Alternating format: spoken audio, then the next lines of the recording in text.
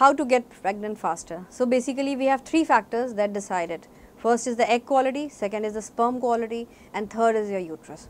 So as you know previously in the video if you have searched I have already talked about the egg quality. So today I am going to talk about the sperm quality. So sperm quality is also a big factor and uh, men usually they do not want to talk about the sperm thing.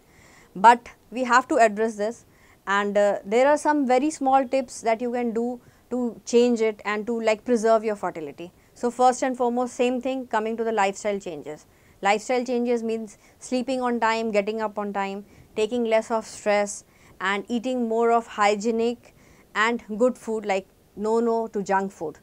Thirdly, quit cigarette, quit alcohol. If you still want to take alcohol, you can take beer or something once in a week and that also very less. You cannot take it. You can you just cannot continuously keep on taking it and then you expect that obviously your sperm counts are going to rise. That is not going to rise. Thirdly walnuts. Walnuts are very good for the sperms so please all the males who are listening to this video, you can take a lot of walnuts and lot of antioxidant foods like all sorts of green leafy vegetables, high fiber diet.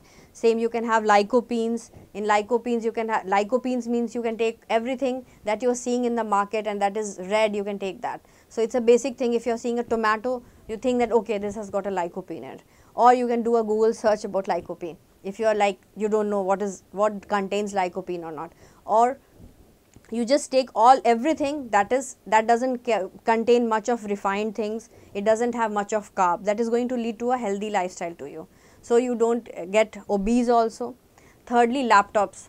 Please don't serve laptops while you're sitting and don't take it in your lap and serve it because that also leads to a lot of sperm count getting deteriorated. And so a lot of people from the IT sector they land up with us and we have to do IVF or ICSI in these kind of patients. Thirdly the usage of mobile phone Mobile is good, but keeping it in the pocket down in your pants is not good. So please don't put your mobile phones in the pockets down. Thirdly, avoid a lot of hot sauna bath because a lot of hot temperature that also leads to decreased sperm count.